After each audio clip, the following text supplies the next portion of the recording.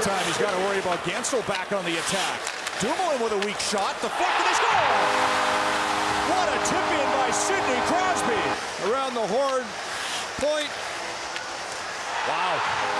What eye-hand coordination. And Crosby, I think he'll just knock this baby right over. We've seen him do that Yep. already this season twice. Make that three times.